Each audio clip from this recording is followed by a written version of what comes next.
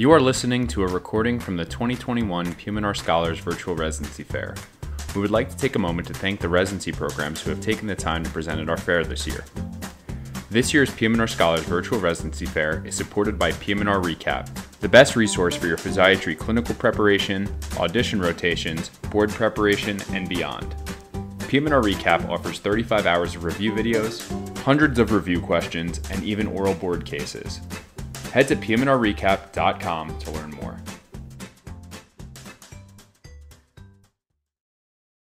All right, so I'll get started. Um, I'm Matt Weinstein. I'm one of the PGY3s at uh, University of South Florida PM&R program, where, as I said, we're in Florida. We're in Tampa. Um, we're a categorical residency, meaning we have all four years here. So we include the intern year. So just a little background on our leadership. Our program directors, Dr. McCarthy. Um, she did her residency at Baylor. She's mostly specializes in brain injury. Um, she's been invited to be board examiner, uh, written board, uh, written multiple board questions a lot of years. Um, so that's pretty helpful. Um, she also runs a spasticity clinic at the VA. Um, she runs a concussion clinic as well at USF. So a lot of her, like I said, a lot of her uh, specialties in traumatic brain injury. Our program coordinator is Sharina Farrington. If y'all have any questions regarding the program, like rotations or things like that, you can always reach out to her. Um, her info is also on the website. So these are the clinical sites we rotate. Rotate up, we go a little bit more into them uh, uh, later in this PowerPoint. But uh, so there's main fair, five, mainly five clinical sites. We got the VA, Tampa General, Moffitt Cancer Center, and then uh, the Morsani Center, and also a uh, SimLab. The good thing about all these places is they're all relatively close um, proximity. Uh, the VA and Moffitt and Morsani are all like basically right across the street from each other. Then Tampa General is like 20 minutes from the VA, so really not a lot of commuting or long commuting uh, when you're here. This is a breakdown of our four years here. The first year is all at the VA. Um, we do four months of internal medicine wards. Uh, the good thing about our first year is we have a lot of PM&R uh, relevant rotations uh, that help prepare you for years two to four. Uh, we do a month of uh, orthopedics, which is basically an injection clinic, and you get basically all your num- all your numbers for blind injections that month, and you come out of it feeling very comfortable, uh, really injecting shoulders, knees, hips. Um, we also do a month of neurology, infectious disease, and rheumatology, which are all obviously relevant to PM&R. Uh, we have a couple PM&R specific rotations on the uh, spinal cord injury vent unit, and then also an intro to PM&R month. And then we also rotate through family medicine and emergency medicine. Uh, PGY2, we do our inpatient at the VA uh, which is spinal cord injury. We do traumatic brain injury and polytrauma, and then general rehab. Uh, we have a couple procedure months as well during our second year. Uh, we have a dedicated ultrasound guided uh, MSK month, um, which we also do in years three and four. Uh, and then we also do EMG. We do a month at Moffitt our second year as well, either in interventional pain or palliative medicine. Third and fourth year, you start uh, we start going to Tampa General a lot more. Uh, we do more inpatient there, uh, see more of the private world. We do pediatrics there, some outpatient stuff, and also consults. Uh, we also go to St. Joseph's for pediatrics. Uh, again, in third year, we go to Moffitt Cancer Center. That's where we do a lot of our pain stuff. And then we also do a uh, neuro oncological surgery month as well. Um, so yeah, third and fourth year is kind of evenly split between Tampa General, the VA, and Moffitt. And the other perk about our fourth year is we get four months of elective time to kind of uh, choose what we're interested in, help prepare us for whatever we're going into after uh, residency.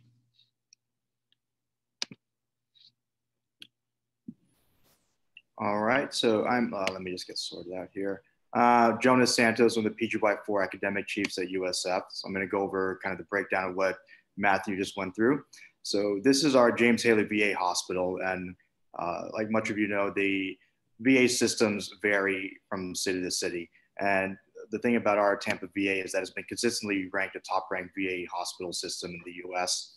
Um, it is a national, it is a recognized center for excellence specifically for TBI polytrauma. It's a 56 bed uh, polytrauma inpatient rehab.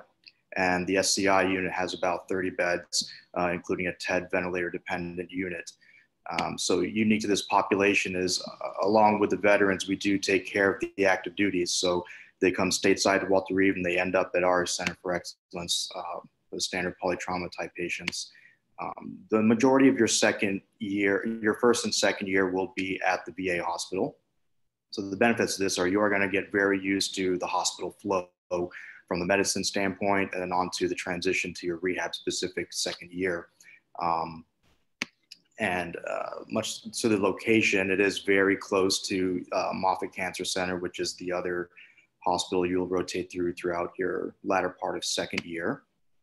And see here, the hospital itself is actually going under some uh, additional bed towers. So it's approximately a 400, 410 hospital, uh, bed hospital, but the, they're gonna be transitioning to a new bed tower, new ICUs, new workrooms for the residents and such.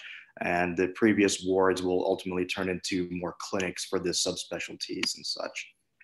Uh, we do have all the uh, things like C-mills. We have the aquatic therapy for um, uh, let's see, do we have the treadmill? I think the tread underwater treadmill is actually on the next picture, um, but that's um, clearly, you know, a modality that the patients like using is the uh, aquatic therapy.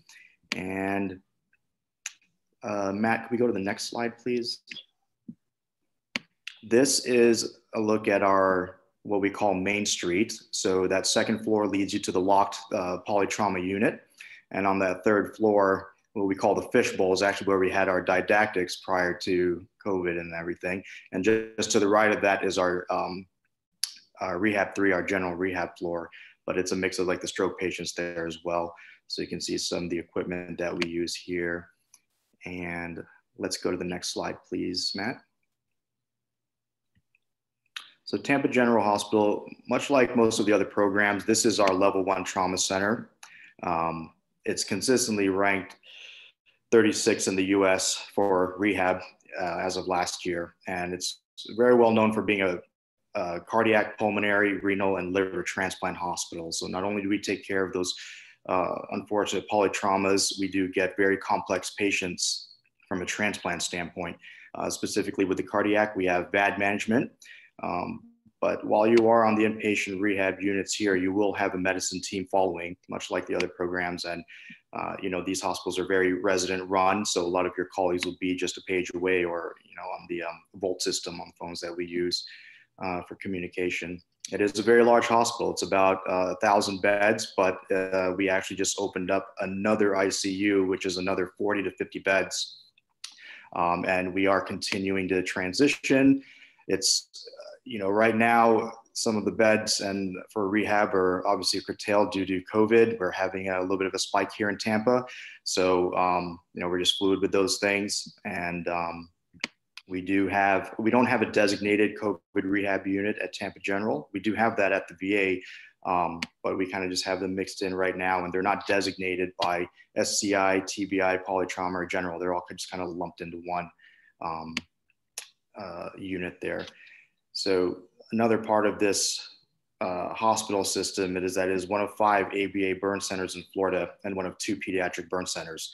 So from a burn rehab standpoint, our OTs and PTs have been doing this for about 20, 25 years. They're very knowledgeable and they're very open to teaching residents. So, you know, obviously there are very unfortunate cases, but there's a lot of learning, uh, you know, with those burn patients. So you will see quite a bit, especially around the summertime, which is uh, when we have a higher prevalence of those burn patients. Um, it is a 59 bed rehab facility. However, as you'll see in the subsequent slides here, we do have uh, transition into a freestanding rehab building. Uh, Matt, can you go to the next slide, please? This is Moffitt Cancer Center, which is adjacent to the VA hospital. Uh, it's nationally been ranked a top 10 by US News World Report, Best Hospitals.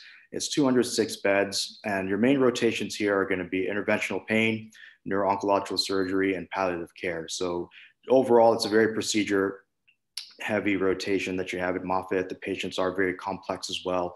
And since it is a cancer center, we do a lot more than just the uh, bread and butter interventional pain. So this is cancer specific pain with a variety of um, you know, celiac plexus blocks, sympathetic blocks. I mean, uh, literally any nerve you have, they will find a way to block it and ultimately ablate it and such. Um, okay, Matt, can we go to the next slide, please? This is the freestanding TGH rehab hospital. It will be CARF accredited up to 80 beds. It's uh, the outside structure has been erected, but they're working on the inside facility right now. It is projected to be open spring of 2022. And it's maybe about a mile and a half from the main TGH hospital, but there will be shuttles going back and forth.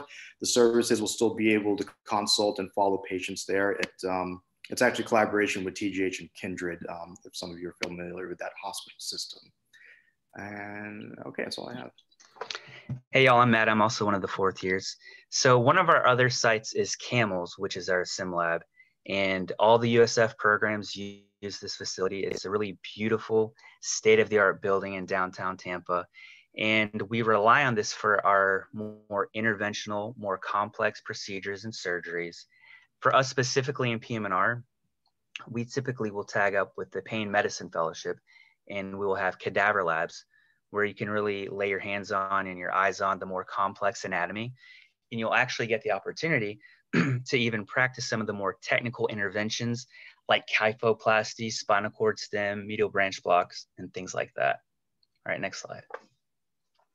So one thing that's really great about our program specifically is we get so much ultrasound experience, particularly with dynamic MSK uh, exams, as well as peripheral joint injections. And when you leave training here, you're going to have several hundred plus peripheral joint injections. Like Matt said, you're going to start out intern year.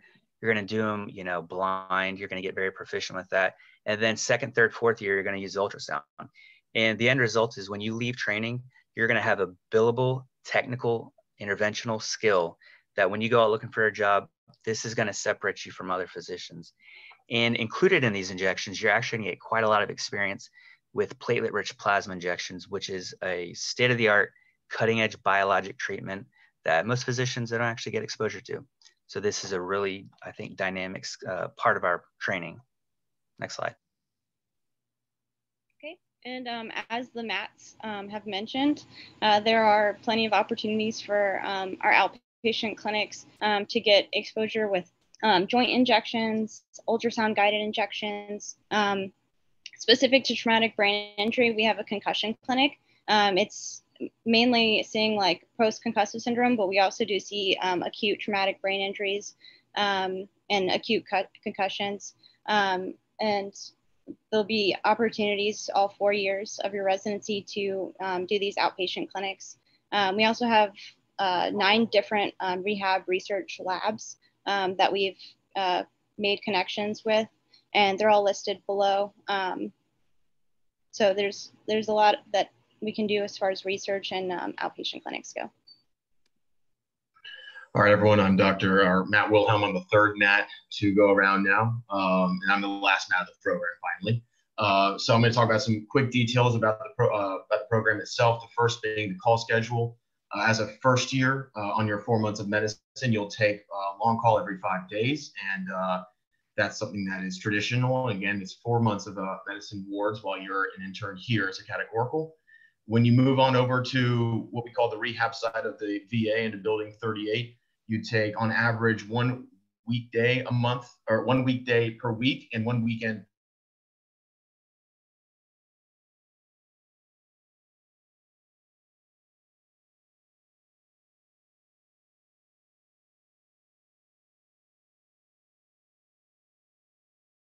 the third year, you're averaging four call days per month, which is about one weekend or three to four weekdays. And as a four life is great. You're taking one weekday call per month. Uh, about five minutes left, just to let you know. How much time? Five minutes. All right, thank you. Uh, so the weekday call is from home, so from 4:30 p.m. to 8 o'clock a.m. Um, as far as didactics, we have protected time each week, starting at noon. That runs until 4 p.m. Uh, that's on Thursday afternoons, and we have lecturers from all realms of our uh, program, whether it's at USF, uh, VA, Tampa General, or Moffitt. Um, we have several lecture series by Bradham and uh, MSK training with some, you guys can read the PowerPoint obviously, but to hit some other points, we have a lot of in-house uh, professionals who come in and show us the hands-on things. You might have seen a few pictures back with the ultrasound guided experience. That is actually one of our um, past residents, which I'll get to in a moment. Uh, he has remained in-house and, and these folks love coming to talk to us about what they do for a living and the tangible skills they can pass on to us. And that leads into our staff. Uh, we have a very, we have a phenomenal staff, especially at the VA.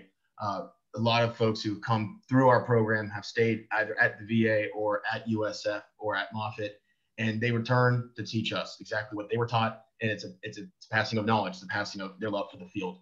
And as for our fellowships, I think one of our greatest strengths here is our number of fellowships and our intrinsicness of the fellowships.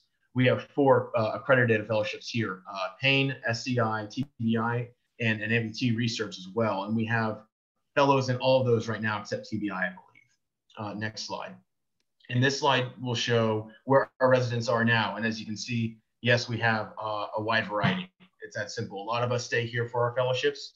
A lot of us go away.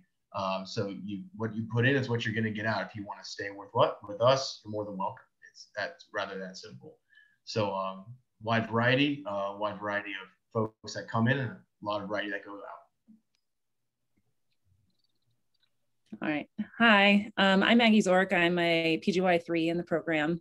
Um, I get the fun slide where I get to talk to you about all the great things about Tampa and why it's awesome. I'm originally from Ohio, so I was in the boat where I wanted to get someplace warm, and Tampa totally fits that bill. It's hot here, the winters are wonderful. Um, there's a ton of outdoor activities to do.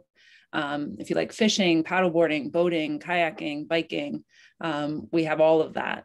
Uh, the other great thing about Tampa, which in the past couple years has been awesome, we have professional sports teams um, that are doing fairly well. Uh, the uh, we have the Bucs, the Lightning, Go Bolts, um, and then the Rays, and then we have other baseball training camps here. So there's really always, you know, games to go and see, um, good social activities to do. Um, we have two minutes left, guys. Okay, so yeah, Disney World's right down the road. We have lots of beaches really close, like 30 minutes away. Um, the living arrangements here, I do want to touch on that. So uh, the hospital, the VA hospital is located a little bit north. It's about 20 minutes from downtown Tampa. A lot of uh, residents live downtown, but then some also live closer to the VA.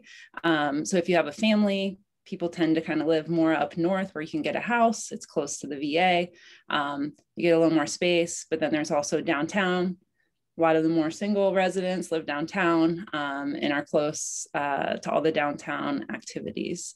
Um, we'll kind of skip ahead and just open it up for questions at this point. All right. So I saw, this is Matt, one of the fourth years. I saw there's a question about foreign uh, IMGs applying, and we certainly, you know, aren't going to discriminate against that. We look at all the applicants equally. So we don't you know show any sort of favoritism in that respect. And i've got really good friends in actually some other programs that one of them uh, is canadian as well. So we definitely have plenty of those around our program and that's not something that we'd hold against you. And then yes we have a pretty good hockey team. Anyone else have any other questions or anything? Sorry we didn't leave a ton of time but we're trying to get it get through everything. Yeah, and feel free to put your uh, contact information if you like in the chat as well, um, and folks can reach out to you okay. that way too, if you like. We did have one question about um, work-life balance. Um, we can touch on that really quickly. I know um, every program is going to have, especially since we're a categorical, we have um, our intern year here. Um, we're going to be doing all of our awards here. It's only four months of wards, but they are pretty intense, um, 12 hour days. And then um, we kind of touched on call schedule. Um, so I'd say that overall, um, we find a good work life balance um, and we, we stay busy, but um, we definitely have time to get to know each other, make friends. and like Maggie said, there's a lot of fun things to do. so I, I would say the work life balance is perfect here. you learn a lot. Great. You get the education you need. And um, yeah. Great. Thank you so much. And feel free to continue uh, the discussion in the chat if you like. Um, another excellent presentation. Really appreciate that.